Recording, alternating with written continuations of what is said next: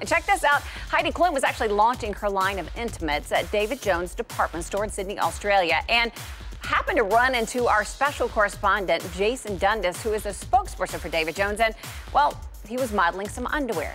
Don't ask about that part. But anyway, he set up an impromptu interview with Heidi, and he forgot one thing his pants.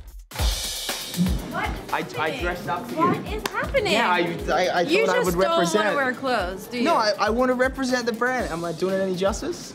you are. Oh, good, good, good, I keep looking down and I shouldn't. no, don't look down. I This is the big mistake. Oh, the shy guy act. Let's see how far this gets Jason. Do you have to suck your stomach in. no!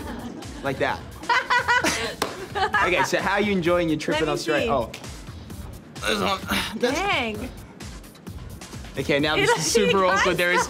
Wait, switch, switch the camera around. Look at everybody watching. But Heidi is way too busy to be fazed. The 41-year-old working mother of four, who has 70 million in the bank, is cashing in on two TV shows and six clothing lines, ranging from athletic wear to kids to lingerie. Now I know who I'm going to be designing for.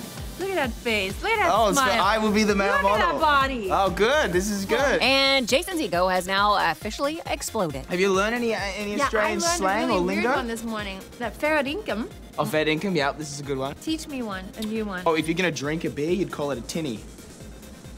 A tinny? A tinny, yeah. This is right, so yeah. you say, can I have a tinny? so if you would like a, a, a beer, Yeah. you can say, uh, "Has anyone got a tinny?" Mike, you got a tinny for me, love? Exactly. Yes. Ah, I think many tinnies are probably going to be had this Sunday, Super Bowl Sunday. Well, tonight on NBC, it is the season 16